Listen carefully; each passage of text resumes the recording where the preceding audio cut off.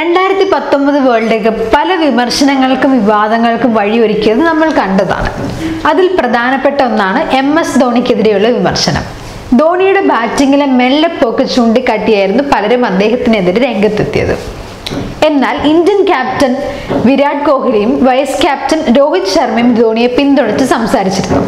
കോഹ്ലിയും രോഹിതും മാത്രമല്ല ടീമിലെ മറ്റു ചില പ്ലേയേഴ്സും ഇപ്പോൾ ധോണിയുടെ ടീമിലുള്ള സ്ഥാനത്തിനെ കുറിച്ച് സംസാരിച്ച് രംഗത്തെത്തിയിരിക്കുകയാണ്. എല്ലാവരും ധോണിയുടെ സ്ട്രൈക്ക് റേറ്റ് മാത്രമാണ് നോക്കുന്നത്. എന്നാൽ ഇന്ത്യയുടെ ടെയിലൻഡേഴ്സിന്റെ കാര്യം ആരും തന്നെ ഓർക്കുന്നില്ല. ബാറ്റിങ്ങിന്റെ കാര്യം എടുത്താൽ നമ്മൾ ഇംഗ്ലണ്ടിനെ പോലെ ഒരു ടീം അല്ല എന്നത് ഓരോരുത്തർക്കും അറിയാവുന്ന കാര്യമാണ്.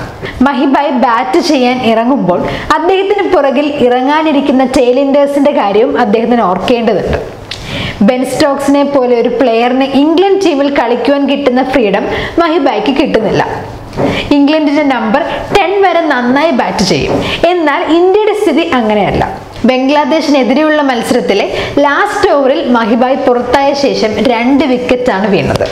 ഐ എ എൻസിന് അനുവദിച്ച ഒരു അഭിമുഖത്തിൽ ടീമിലെ ഒരു പ്ലെയർ പറയുകയുണ്ടായി. അദ്ദേഹത്തിന്റെ ഗ്രൗണ്ടിലെ പരിചയസമ്പന്നത കൊണ്ട് ഏതൊരു ചോദ്യത്തിനും ഉത്തരം പറയുവാൻ കെൽപ്പുള്ളയാളാണ് മഹിബായ്. പ്ലാൻ എ വർക്ക് ആയില്ലെങ്കിൽ അദ്ദേഹം നിങ്ങൾക്ക് പ്ലാൻ ബി സി ഡി എല്ലാം പറഞ്ഞു തരും. ബംഗ്ലാദേശിനെതിരെയുള്ള മത്സരത്തിൽ അദ്ദേഹം ഋഷഭ് പന്തിന് നിരന്തരമായ ഉപദേശങ്ങൾ കൊടുക്കുന്നതും ഏത് സൈഡാണ് ടാർഗറ്റ് ചെയ്യേണ്ടതെന്നും കൃത്യമായി പറഞ്ഞു കൊടുക്കുന്നതും നമ്മൾ കണ്ടതാണ്. ആ പരിചയ സമ്പന്നത ഒരിക്കലും മാർക്കറ്റിൽ നിന്ന് വാങ്ങുവാൻ കഴിയില്ല. അദ്ദേഹം കൂട്ടിച്ചേർത്തു. മഹിബായുടെ ഗ്രൗണ്ടിലുള്ള സാന്നിധ്യം മൂലമാണ് ക്യാപ്റ്റൻ വിരാട് കോഹ്ലിയെ പോലെ ഒരാൾക്ക് ഔട്ട്ഫീൽഡിൽ പ്രഷർ ഇല്ലാണ്ട് ഫീൽഡ് ചെയ്യുവാൻ കഴിയുന്നതെന്നും മറ്റൊരു താരം പറയുകയുണ്ടായി. വിരാട് ഭായിക്ക് ഡീപ്പിൽ ഫീൽഡ് ചെയ്ത് റൺ സേവ് ചെയ്യുവാൻ സാധിക്കുന്നത് മഹിബായിയെ പോലെ ഒരാൾ വിക്കറ്റിന് പിന്നിൽ ഉള്ളതുകൊണ്ടാണ്. ഗ്രൗണ്ടിൽ മത്സരം തുടങ്ങി കുറച്ച് കഴിയുമ്പോൾ തന്നെ അദ്ദേഹം ബൗളർമാർക്ക് എവിടെയാണ് എറിയേണ്ടതെന്നും ബൗളിങ്ങിൽ വരുത്തേണ്ട വേരിയേഷൻസിനെ പറ്റിയും കൃത്യമായും പറഞ്ഞു കൊടുക്കും. അത്തരത്തിലുള്ള എക്സ്പീരിയൻസ് ഒരിക്കലും റീപ്ലേസ് ചെയ്യാൻ സാധിക്കാത്ത ഒന്നാണ്. ഞങ്ങൾക്കറിയാം മഹിബായി എല്ലായ്പ്പോഴും കൂടെ ഉണ്ടെന്ന് ഫീൽഡിങ്ങിൽ മാറ്റങ്ങൾ വരുത്തുന്നതിനിടെയായാലും കൃത്യമായി മുന്നോട്ട് നയിക്കുന്നതിനായാലും അദ്ദേഹം പറയുന്നതിൽ കണ്ണിമ ചിമ്മുന്നതിന്റെ അത്ര പോലും തെറ്റുണ്ടാവില്ല. മഹിബായി പറഞ്ഞാൽ എല്ലാവരും അതുപോലെ അനുസരിക്കാറാണ് പതിവ്. ഗ്രൗണ്ടിൽ ഫീൽഡിങ്ങിൽ കോഹ്ലിയെ ഉൾപ്പെടെ എല്ലാവരെയും നയിക്കുന്ന ഫീൽഡിംഗ് വൈസ് ക്യാപ്റ്റനെ പോലെയാണ് മഹിബായി താരം പറയുകയുണ്ടായി.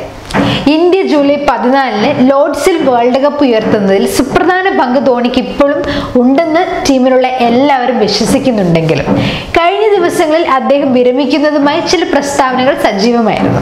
എന്നാൽ ആ വാർത്തകളിൽ സത്യമല്ല എന്നായിരുന്നു ടീം മാനേജ്മെന്റിലെ ഒരു സീനിയർ താരം അഭിപ്രായപ്പെട്ടത്. ധോണി ബലിദാൻ ബഡ്ജ് ഉപയോഗിച്ചപ്പോൾ കിട്ടാതിരുന്ന പിന്തുണയാണ് ഇപ്പോൾ അദ്ദേഹത്തിന്റെ വിരമിക്കൽ വാർത്തകൾക്ക് ലഭിക്കുന്നത്.